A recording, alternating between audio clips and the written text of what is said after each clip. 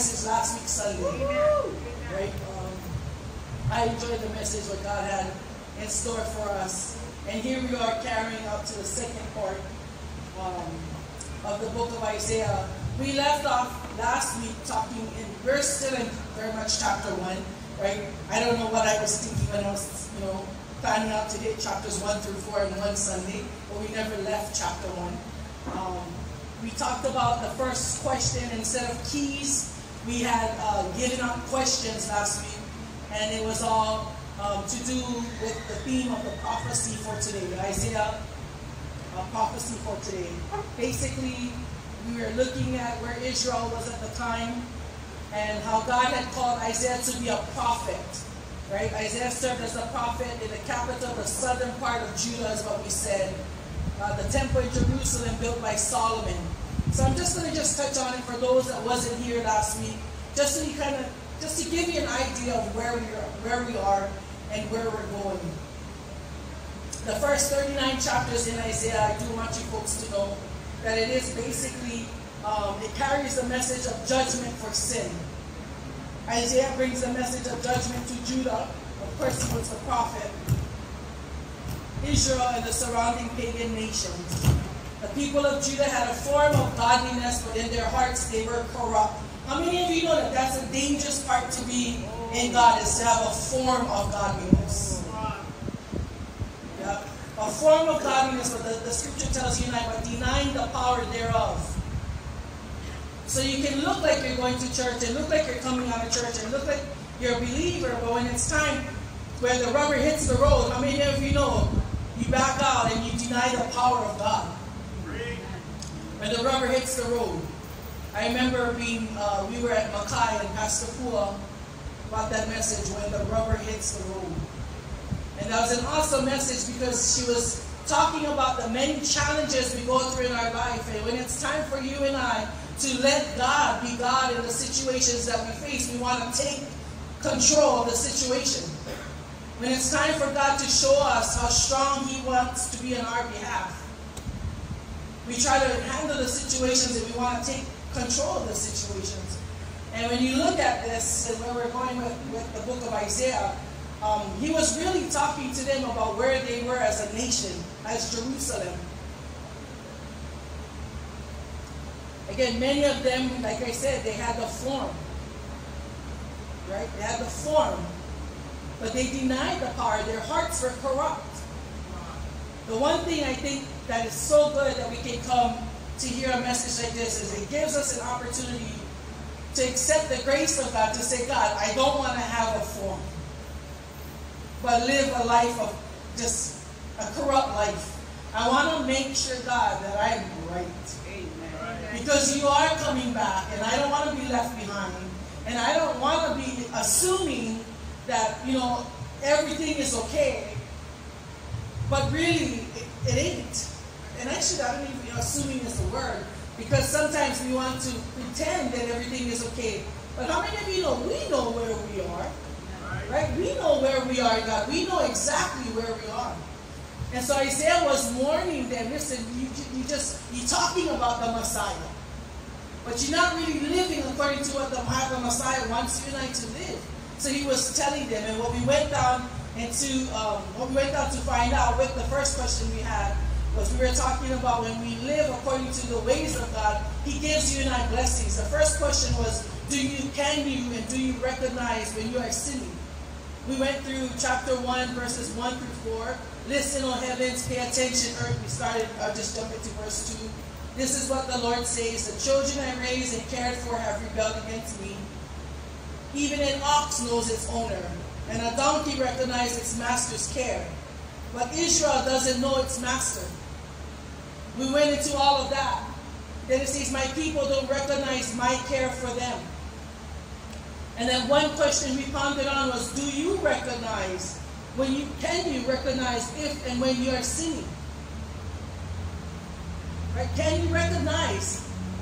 I like to, I always pray for myself, God, I thank you for the spirit of conviction. That I can recognize when I'm going too far. When I can recognize that when I need to stand up and remove myself. When I can recognize that I'm saying things that I shouldn't say. I pray conviction upon my husband. I pray conviction upon my children. I don't just pray blessings. How many of you know if you want the blessings, you better know you got to live by conviction? Right? Many of us want the blessings, but we don't want to live by conviction. And that's what you call putting on a form of godliness. God is a good God. God is a great. I was just telling my husband, he came to set up this morning and he said, I got called in, I got to bring a ship in and I'll be right back to service. I said, better hurry up and come back.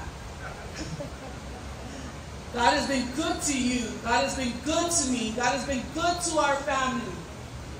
Woo. You got to know that God has been good. Amen. You got to know that God has been good. You cannot walk every day in your life thinking you have what you have because of you. My mom always tells me this, without, always tells me this, without the breath of life, you don't wake up in the morning. Never think you do what you do because of you. If it wasn't for God breathing life, Ola, Hawaiian say Ola, into you, you don't wake up. What you have is because God's grace upon you. How many of you are thankful for God's grace? Right? And so the scripture was, even an ox knows its owner. And a donkey recognizes its master. But Israel doesn't know its master. My people don't recognize my care for them. I pray that we always recognize the voice of our master. That when he says stop, we know how to stop. Amen? I pray that when he says go, we know how to go. Again, I'm not going to dive into where we were, just kind of giving you an update so you can jump into where we are today. Israel re, uh, refers to the southern kingdom, Judah. The people of Judah were sinning greatly and they did not care. At that time, that, that's kind of what was happening. A lot of sin was going on. The people really didn't care. They no longer even realized that they were sinning. God brought charges against the people of Judah through Isaiah because they had rejected the Lord. They forgot Him and they broke their moral and spiritual covenant with God. And this is where we went into Deuteronomy 28. How many of you appreciated learning about the blessings that God gives us? We jumped into Deuteronomy 28 and we started off with verse number 1. If you fully obey the Lord your God and carefully keep all His commandments that I'm giving you today, the Lord your God will set you high above all the nations of the world. You will experience all these blessings if you obey the Lord your God. Your towns and your fields will be blessed. Your children and your crops will be blessed. The offspring of your herds and flocks will be blessed. Your fruit baskets and, and breadboards will be blessed. And we talked about we want our breadboards blessed. Wherever you go and whatever you do, you will be blessed. Amen, church? Whatever you do, wherever you go, God wants to make sure that you're blessed. The Lord will conquer your enemies when they attack you. How many of you want to stand knowing that the Lord will conquer my enemies? The Lord will conquer your enemies when they attack you. They will attack you from one direction, but they will scatter from you in seven ways. The Lord will guarantee a blessing on everything you do. How many of you know that God is the only guarantee? You know how many purchase something they go like this, oh, it's 100% guaranteed. And they come to find out that was if you did this. And if you did, oh man, I'm sorry, you only had 14 days. What do you mean? I thought it was 30 days or 60 days. Oh, it was 30 days if this, but in actuality, see, that's the reason why the Bible says, call every man a liar, but the word of God the truth. The Lord will guarantee a blessing on everything you do and will fill your storehouses with grain. The Lord your God will bless you in the land He is giving you. He didn't say He will bless you in the land that you go and get. He said He will bless you in the land that He is giving to you. That's the reason why I thank God that the Word of the, the steps of a good man are ordered by the Lord. Because if we go on our way to try and get our own, how many of you know you might go, but blessings may not follow? Because the Lord will bless you in the land that He is giving to you. If you obey the commandments of the Lord your God and walk in His ways, the Lord will establish you as His holy people, as, his, as He swore He would do. Then all the nations of the world will see that you are people claimed by the Lord, and they will stand in awe of you. The Lord will give you prosperity in the land He swore to your ancestors to give you. Blessing, blessing you with many children, numerous livestock, and abundant crops.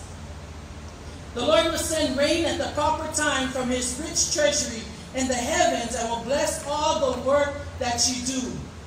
How many of you want this to be you? Church, this scripture is a blessing upon children of obedience unto God. Simple. All we got to do is line up our ways unto God. And he said, This is what I want to bless you with. It's not hard. How many of you know sometimes we make it hard? We make it hard. If you listen to these commandments of the Lord your God that I am giving you today, and if you carefully obey them, the Lord will make you the head and not the tail. And you will always be on top and never at the bottom. You must not turn away from any of the commandments. Church, and let me stress that part. You must not turn away from any of the commandments. This is a good check right here. If you think, oh, I, I'm faithful, God, I'm faithful in serving you. I show up all the time. Why is this happening to me? Go right back to this scripture. You must not turn away from any of the commandments. So where does this leave you? Father, I examine myself to you. If there's anything, sometimes we know the very place. And it's that one thing that we don't want to confess it before God, and all God is saying, I already know what you're doing. I'm just waiting for you to confess. How many of you know He's all-seeing God? He's an all-knowing God. And all He's saying is, all you really got to do is confess. Why confess? Why are we confessing?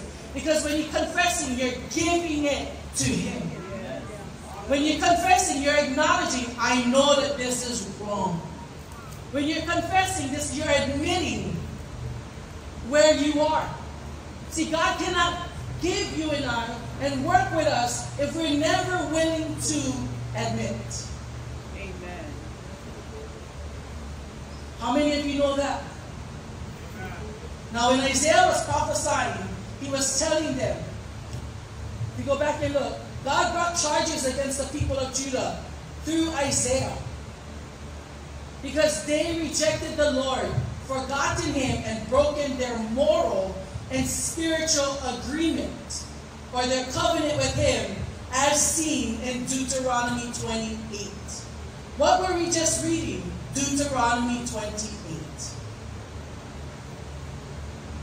By breaking their agreement, they were bringing God's punishment upon themselves. This is why it's important that we really look at where we are. Yeah.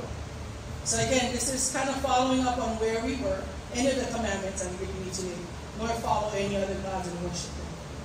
So this is where we left off. Everybody following along where we left off last week. We was talking to the people of Jerusalem, people of Judah. And he talked about the curses that will be brought about them. He said, because you forgot your God, because you forgot the covenant you made. Now the blessings that was given to you now will turn into curses to you and your family. We didn't get a chance to hit the curses, but how many of you are ready to jump into this? I don't want to listen to curses. If I can be honest with you. I don't want my family to be cursed. Right. But if I don't hear the truth, then I live with a form of godliness and I deny the power thereof. Because I don't want to hear the truth. And that's the one thing many of us sometimes we struggle with. We don't want to hear the truth. And then we turn around and say, well, it just feels like everybody's judging me. How many of you know sometimes that's God saying, that's me trying to get your attention? You got to listen to the truth. Now you look at this again. I said, I for one, I I don't want to listen to the curses, but at the same time, I gotta listen because that's what I don't want. But if you refuse, in verse 15 says, to listen to the Lord your God and do not obey all the commandments, all the commands and decrees I'm giving you today, all these curses will come and overwhelm you. Your towns and your fields will be cursed. Your fruit baskets and breadboards will be cursed. Your children and your crops will be cursed. The offspring of your herds and flocks will be cursed. Wherever you go and whatever you do will be cursed. The Lord Himself will send on you curses, confusion, and frustration in everything you do. And that's the reason why we say God is not a God of confusion. When you find yourself being confused, when you find yourself being frustrated, it's a good time right there to really stop and say, Where am I? The Lord Himself will send on, on you curses, confusion, and frustration in everything you do, until at last you are completely destroyed for doing evil and abandoning me. The Lord will afflict you with diseases until none of you are left in the land you are about to enter and occupy. The Lord will strike you with wasting diseases, fever and inflammation, with scorching heat and drought, and with, with uh, blight and mildew. These disasters will pursue you until you die. Isaiah was talking to them, if you go back into the beginning of why we went into the book of Isaiah, it was talking about what it, uh, the coming of the Messiah. But how many of you know that it wasn't just talking about the coming of the Messiah? Right? Isaiah prophesied about the coming of Messiah, the Messiah, but Isaiah was also talking about the coming of Christ. He was talking about a Messiah that was going to come and die on a cross for them, that they may have grace, that they may have a second chance. But then he also went to say that even at that second chance, many of them will not even know their master's voice. They won't know their master's voice and they will turn and not heed instruction. So in all of that, Isaiah was also prophesying of what was to come. Not just what was going to take place with the coming Messiah, but what was to come. And if you look at this, many times message, uh, preachers will bring the book of Isaiah when they're talking about the type and shadow of the last days and where we are as the United States of America. How many of you ever heard that? The book of Isaiah talks about the type and shadow of where we are in the last days mm. and where we are as a nation of the United States of America.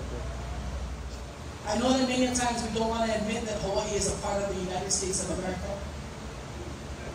But, church, legally, we fall under the state, the United States of America.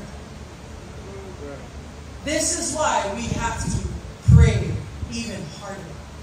Because if Isaiah is talking about the coming of the Messiah, but also talks about what's the, the coming of Christ and what's going to happen before the coming of Christ. I don't know about you. We talked about last week about living in the days of Lot and Noah.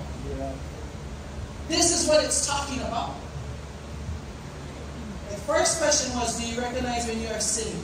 Right? We talked about that. I'm jumping right into the second part of the, the message that we didn't get. I think we just maybe gave a question, but we didn't really jump into it. The second question in regards to the book of Isaiah is, in, in sin, are you still able to communicate with God? Do you communicate God with God? As long as the people of Judah continue to sin, they cut themselves off from God's help and the, they isolated themselves. Remember that God never abandons us. I mean, you are thankful that He never abandons us? Our sins cut off our closeness and communication with Him, leaving us lonely from the one who created us to be in relationship with Him.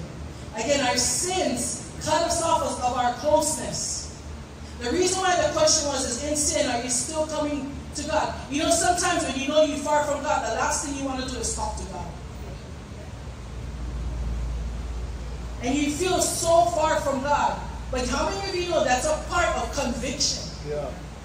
When you feel so far from God, that's the very time you gotta stop and say, wait a minute. I'm not in communication, not in communication. My, my life is off. Husband and wife, you cannot tell me it's okay for you to go on days and weeks without talking to your spouse. Right. After one day, you feel miserable. Because you know that something is not right. This relationship is not pa. Correct. It's not established. True. It's not strong. And that's the reason why the question is in sin, are you communicating with God? Because I can tell you, when you're doing things that you know you're not supposed to be doing, the last thing you want to do is communicate with God. And again, why?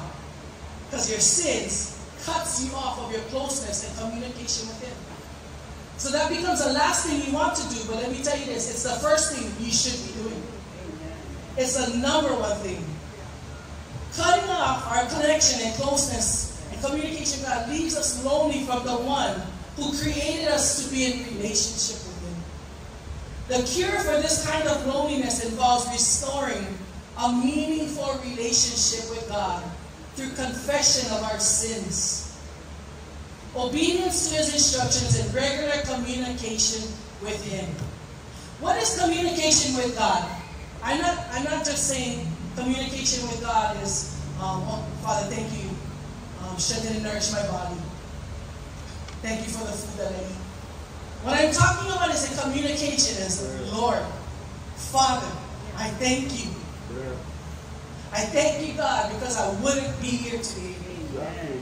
Father, I wouldn't have the breath of life if it, was, if it wasn't because of your grace, if it wasn't because of your mercy. Lord, I worship you today. Amen.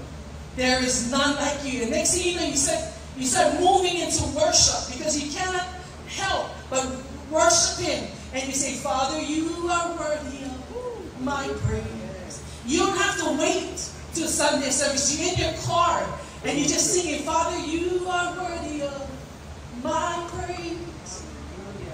I come and adore you and bow down before you. You are worthy, God. And then you start telling me, Father, thank you, you are worthy. I thank you, Father. I thank you, God, that when I didn't have enough, you always met my needs. I thank you for my children. Hallelujah. Father, wherever they may be, I ask you for your hedge of protection. Father, you continue to stir. You continue to shake. You convict their hearts, Father. Wherever, wherever my husband may be, Yeah. Father, stir him up. Lord, shake him up. The things that he's saying may not be of you. Father, shake him up. The, the conversations my wife may be having at work, Lord, shake her up. Hallelujah. Father, because you are worthy. Worthy. I come and adore you and bow down before you. Father, you are worthy. Father, thank you for my apostle. Lord, speak to my apostle. Church, that's what you call communication with God. And next thing you know, you're driving on the road for what, a whole hour and you're, I got my, location. You're thinking, how in the world did I get here? I was in worship just praising God and thank you, Father. That's what you call communication. Come on, church. This is not in the days that we live in. Don't have those pancake conversations. Father, thank you for my food in Jesus' name. God provided more than just your meal. He provided more than just your meal, church. He's a good God. Then you go on and you're just switching up the worship songs while you're, while you're singing. Though my words fall short, I got nothing. You. I mean, I sing all the wrong words so much times. My kids looking at me like, oh, that's not the words. I don't. That's a song in my heart. And I just tell him Jesus. How much I just love him. And I can see Columbia looking at me while I pray, driving out to work, and he laughing. Oh, that's not the right words. That's the words I want to tell Jesus. And you better be talking to Jesus. Fellowship. Don't listen to what I'm telling Jesus. I'm not telling you. I'm telling him. I may sing all the wrong words, but God knows my heart. Yes. And in my heart, I cry out and say, Father, I cannot make it without you. Hallelujah. I cannot make it without you. Hallelujah. I used to say this to my husband all the time. Shucks, when you become a pastor, life is so lonely. Tell me why. Why you feel so lonely, Jay? Sometimes you just like, you like say stuff that you just shouldn't say. You like act a certain way that you just cannot act. You like act a fool like everybody's acting because I just tired God of this. And you gotta catch yourself. And I told him sometimes being a pastor, I feel so lonely.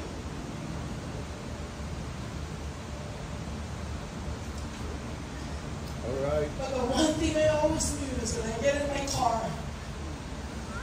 laugh because I may not look like I walk on time, but I walk on time. Because that's my that's my worship. Amen. That's the time I tell you God, Lord, I'm frustrated. I'm frustrated, Jesus. And next thing you know, when I thought I couldn't walk 30 minutes, I walked 45. Amen. I told my husband, hey, you wouldn't believe. Now I, I jogged 10 minutes out of my 60 minute walk. He goes, yeah, right. I said, no, for real. I, I jog 10 minutes every, every day, five minutes here and there. I stop and I jog. I stop and I jog. That, I found that as a time that God was giving me. He was telling me, you don't gotta feel lonely. I never left you. I was always there for you, and I would never give you more than you can bear, To GP. I'm always there. Here's my encouragement to you. You may not be able to tell everybody how you feel. You may not be able to tell your spouse how you feel, but Right. one thing I know is God, He never leaves you. He never does. He never leaves you. Woo. He never leaves you. Thank you, Lord. My husband went to Canada, and many of you know it was the night before Father's Day. Thank you, Lord. And right before that, he left. The enemy tried to throw it aside. And he had to leave to Canada. But I'm thinking, God, Pastor GP, if I fall, my kids fall. If I get discouraged, my husband will be discouraged. God, and he gave me a church to help my apostle to run. Amen. I cannot fall because of this assignment of the news that we got. I said, Father, I cannot. And here my husband is leaving on a plane. And I looked at him at the airline, at the airport, and he told me, We'll get through this. I said, know. I know we're going to get through this. He goes. I went home to be with my mom that week. And then I didn't tell her anything what was going on. And I honestly, I just told her yesterday. I said, shucks, mom, this is, this is what's been happening. I never told her anything. But as I was sleeping with her, what put me through is I started to pray for her. And my dad wasn't there. He was in Las Vegas with my brother. I took the opportunity to sleep on his bed with my mom. And she didn't know that I needed her more than she not having my dad there. I needed her more. And I didn't say one word to her. And the Spirit of God said, I'm your Alpha. I'm your Omega. I'm your beginning. And I'm your end. And I laid on a bed next to her, and everything in me, in me, I wanted to say, Mom, this is what's happening. God told me, I am your healer. I am your healer. Your mom is not your healer, but she can pray her healing through. I laid on a bed next to her, Father, thank you for healing my body. I thank you that I can be here during this time. Lord. And as I prayed her through, while she was laying on the side of me, I felt the Spirit of God give me peace. He said, if you can see a miracle in her, I will show you a miracle of what's to come. You're going to have a testimony. One day you will see. And I lay there, I lay there two nights and three days with her. I lay there and I said, Father, I thank you. I thank you. I thank you, God. I thank you. I got in a car and I drove home on Saturday. And I started, thank you. Thank you, God. And I started to sing the song for my good. Amen. Hallelujah. Amen. And I, I sat there in the car. I played the music loud. And Dora was telling Mom, you okay? I said, son, Mom, you're just so blessed. He said, but Mom, but you crying. I said, son, what you don't understand is when you have the joy of the Lord inside your heart, I said, you can't help but cry because you're so happy and knowing Hallelujah. And this is what the, the enemy might say. This is what the doctors may claim. But whose report shall we believe? And I just started singing. All my words fall short. I got nothing. Hallelujah. And I started to sing to God. I said, Father, you will never give me more than I can bear. And that's why yesterday I felt the joy of the Lord when I was walking down I, I started waving. It was so different for me personally because you know what God is doing for you. You know what He promised He's going to do. And you can only pray and hope the people on the side catch it.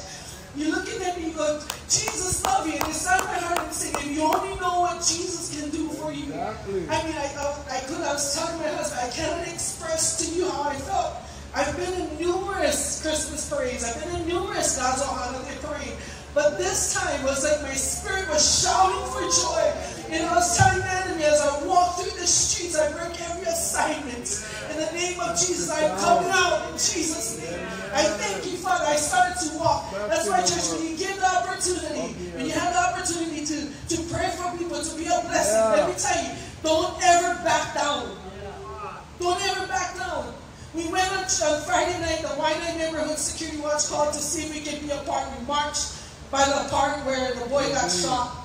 We walked through all over Lewis Street and we marched. And you know, right before that, the enemy tried to send an assignment. Yeah. Send an assignment to me. My, my son and I was we were waiting on Nui Nui for Apostle. Um, they were going on the golf cart, and I just laid my head down, and the enemy tried to send an assignment. And Yeah. you know, I I told myself, I, you're not stopping me from going. You're not stopping me from going. In the The one thing I'm going to encourage you, every time you have an assignment, the enemy will try to disconnect you. Exactly. That's the one time you got to step up and you got to say, I'm going, I'm showing up. I told Pastor Jerry, where you from stage? He said, coming down Mill Street. He said, on the side of the road, following you, we'll follow you in the golf cart, drop off the man in mark. Uh, He said, practice right now. And, and, and come pick me up. She said, okay. You know, we got there. What did, what did they, do the first? I just pulled up with it. Oh, Pastor Gene, you can open up in prayer. You know, right there, like say, you can pray for me first. because it's, I just got a blow on assignment that I really just tried to get rid of. And the Spirit of God just kept on telling me, you step up for these people, I'll keep stepping up for you. I'll go back for you, Jacob. If you keep stepping up, stand between the living and the dead, I'll continually to go back for you. I Hallelujah. stood up, I said, okay. You know, Apostle, when you opened a few words, I started to pray. We started to walk. By the end, I felt God just working everything out on my behalf. Yeah. As we were praying and breaking and tearing down every stronghold, every assignment, I felt God just tearing down, taking away every assignment on my behalf.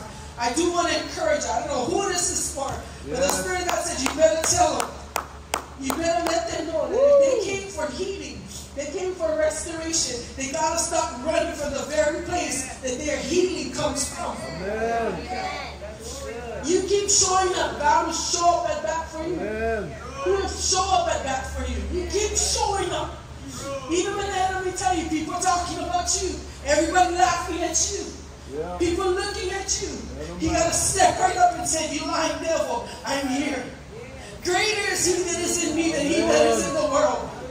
Father, I line myself up with you because I will bless, be blessed in the city and blessed in the field. I will be part of the blessings of Deuteronomy 28. I will be the head and not the tail. I will be above. And let me tell you, yesterday you never looked like the head. Last week you never feel like the head. You wasn't even walking as the head. But God said, but that's okay. My grace is sufficient for you. My grace is all you need. You don't need an apostle to come up and tell you, thank you, thank you, well, well done. He's not the one that's your provider. The, the Bible says that God is the rewarder of those that diligently seek Him. Those that diligently seek Him. Amen. Diligently. Hallelujah. Apostle Pastor Jerry can attest sometimes as a, as a child, you like run and you're like, Mom, Dad, I need help. I need this and I need to. I feel this way.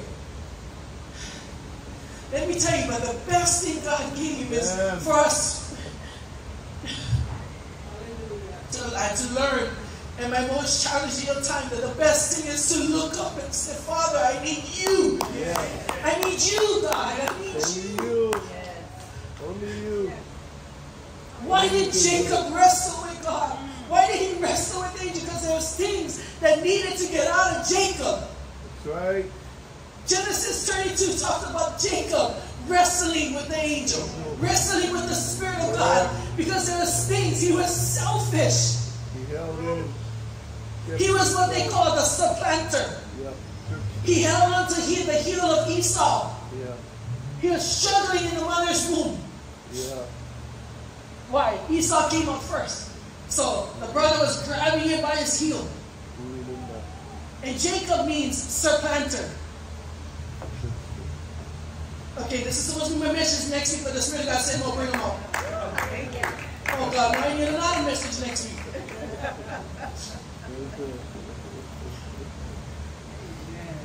I don't know who this is for, but I know that this is for, for somebody. Amen. Jacob means supplanter or heel grabber.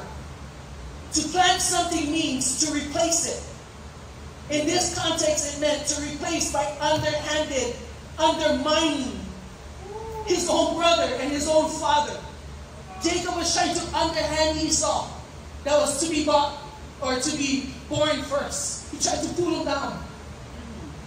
From the womb, they struggled. Jacob struggled with inferiority. Esau was manly, he was a hunter, he was hairy, and he was big. Jacob was a mama's boy. Yes. He was a cook in the kitchen. Even Isaac, their father, seemed to prefer Esau over Jacob. There's nothing more I put here, there's nothing more wounding to a man than to not receive love and affirmation from their own father.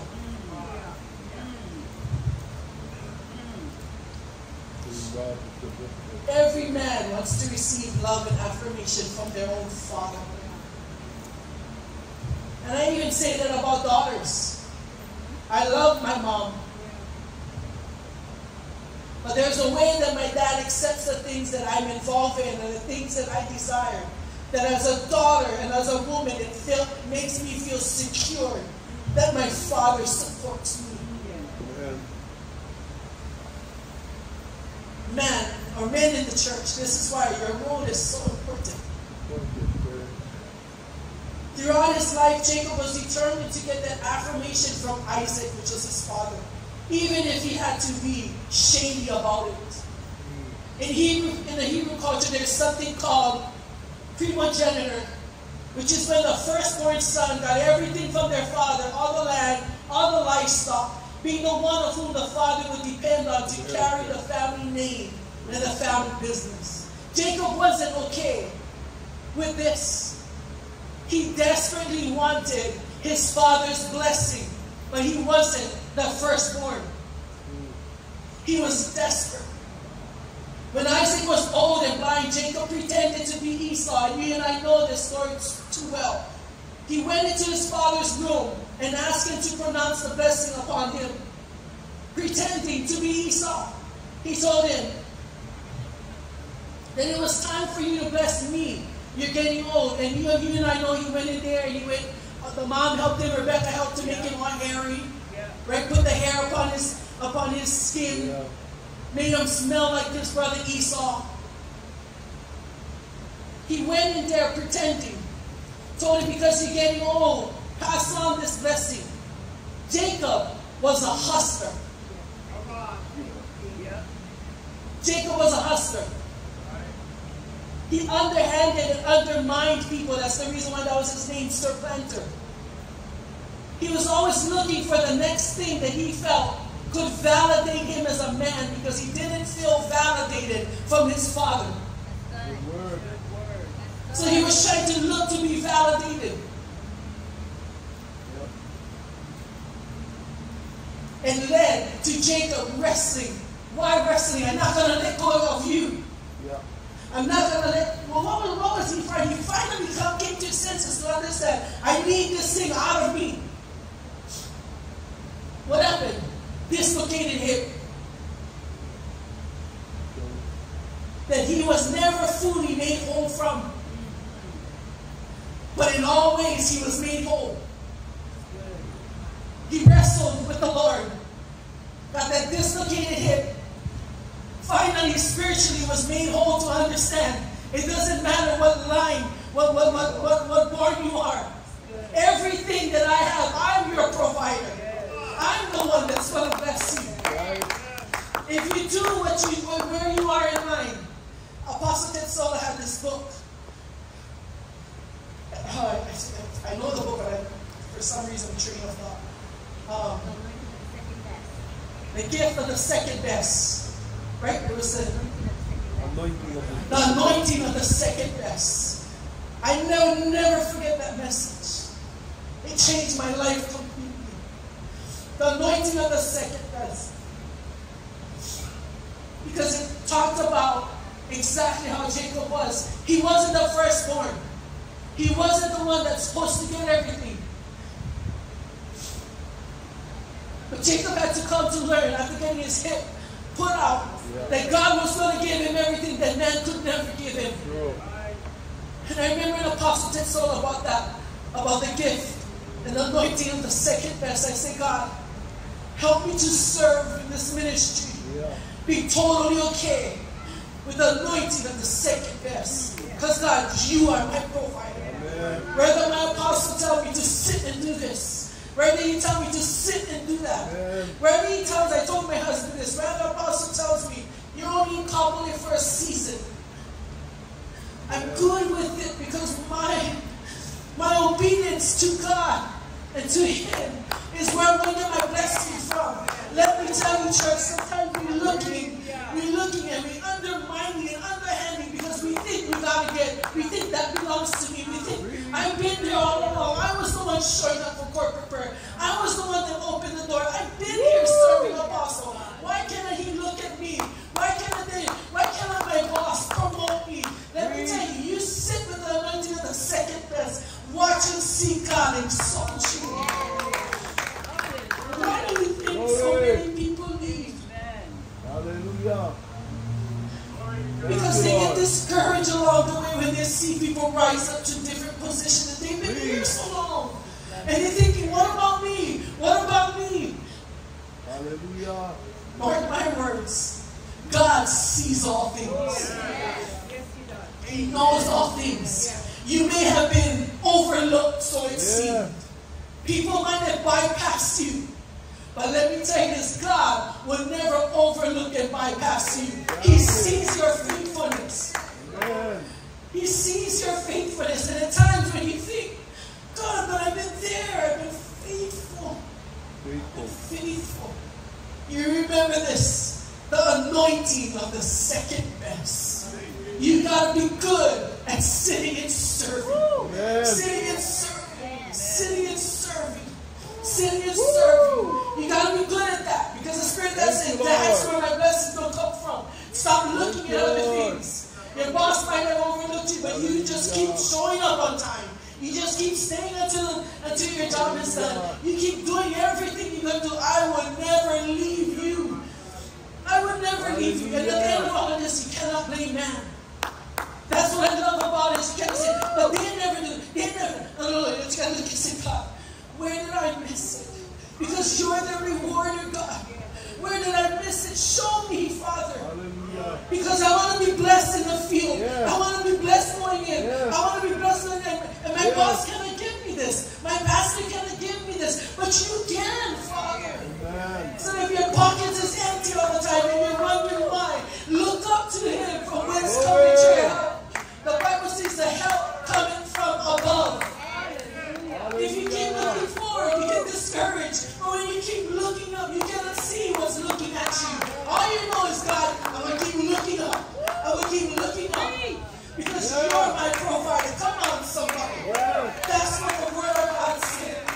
Never mind what everybody else said. Let me tell you, you be faithful. God will grant you the desires of your heart.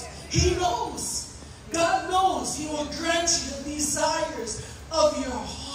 Amen. He will grant you. Thank you, Lord. He will grant it. Deliverance. We went to my nephew's graduation party. Thank you, Lord. And it started to pour raining. My family and I just pulled up. And my husband and I keep trying, trying. And I told Mark, honey, I don't- I extra clothes. Thank you, Lord. If I step out of the car, we get soaking wet. I said, shoot, what should we do, man? So we just turned around. I, I don't even know what to, what to do. Next thing I know, the rain just kind of just dwindled and stopped. And the rest of the night was dry. But as we were kind of just pondering, should we leave? Should we stay? What should we do? Or looked to the side. He said, Mom. I said, Yeah. He said, I'm going to go across the street. And we were parked across the street. I said, Son, no. I said, this is Nalakuli. When what is that? Malakulian. Nanakulian. I said, cars is going fast up and down, right? I said, no, we're going to go out. Just, just hold on and wait. He said, I see Papa's security. I said, you see what? He said, I see Papa's security and Auntie over there. They, they're still over there. I said, Papa's security? He said, right there, right there. So my husband said, oh, you see Richie and Cindy. So I said, oh, son. He said, I'm, I'm going to Papa's security. They're going to watch me. So I said, son, they're busy. And I could kind of see that they were kind of helping make, you know, just make things there. He said, no, mom. Papa's security, they're going to watch me. You know, and I laughed. Because as innocent as I was, I'm going to tell you what actually he knows. Papa's security take care of my papa and my grandma. Papa's security make sure my papa and my grandma is safe. They make sure my papa and my grandma eat. They make sure my papa and my grandma is well taken care of. So in Thor's mind was, I would go to Papa's security. Because Papa's security, they're going to take care of me.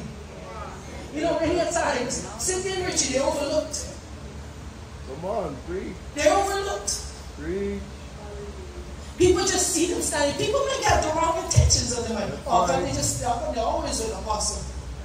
You know, as a daughter, I will tell you as a daughter what I think. They do for my parents what I cannot do. And I'm grateful. Preach. They at one night when I met couple A. All right. They overlooked many of times. I saw this couple year after year stand up and serve. No eat now, no eat. When everybody eating, they don't eat. And when everybody cleaning, guess what I see them doing? Eating the leftover that was left.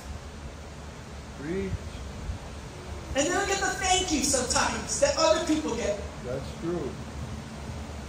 That's sitting at the anointing of the second best to know that let me tell you, they will be blessed in the field, blessed going in, and blessed coming out. They don't tell people why they do what they do. But if my son, five years old, can see that if, they, if I, I, I can be smart, I'm going to be safe with them, that tells me that he sees what they do that sometimes we fail to see. They're protecting the anointing of God upon their lives for the church. I told myself, maybe Richie should have been standing by Donald Trump. because Cindy would have wired and go, Rich, he laying on a barn roof. Yeah. How could you not see 25 feet away, 25, 20 yards away, that there was somebody laying on the roof with a AR-15? Wow.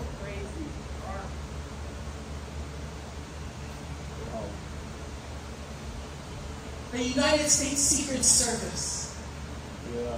can learn a lot from the people of God that sits knowing who they are with as the anointing of the second best. Because I will tell you this one thing about the people of God when they show up, they show up. Up.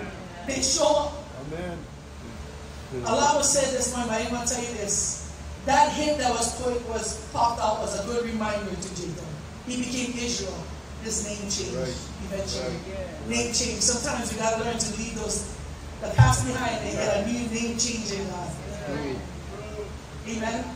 God wants you and I to be blessed. See that? I don't know why I can't figure out book, finish the book of Isaiah. But I don't like to keep talking about the curses.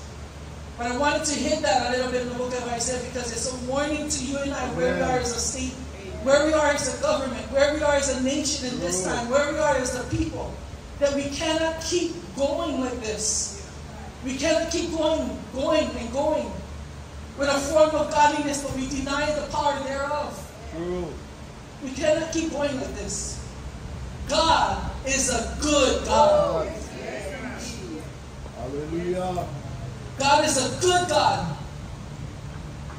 That when you believe that you sin with all fullness, power, and authority, God is a good God. That you're not just telling God is good all the time. All the time, God is good. You begin, I mean, now it irritates you into people just saying that just because, because you know, Exactly. hold up. You deny the power. Right. God is good all the time. All the time. Even when we ain't good. All the time, God is always good. Thank you, Jesus. He's always good. Because I don't know where I'd be today if He wasn't a good God to me. You start to speak with boldness and you start to speak with authority because you know you're the name above all names. You are worthy of all praise. My heart will sing How great is our God. It's the reason why when we join together like we did yesterday, it's easy to come in one mind and one accord. Because you know what God has done. Amen, church? Again, I'm not even close to where I'm supposed to be with this message. I trust and know and believe that whatever God wanted you to be blessed with today, God blessed you with those things. Amen. He blessed you with it. How many of you are thankful that He's a good God?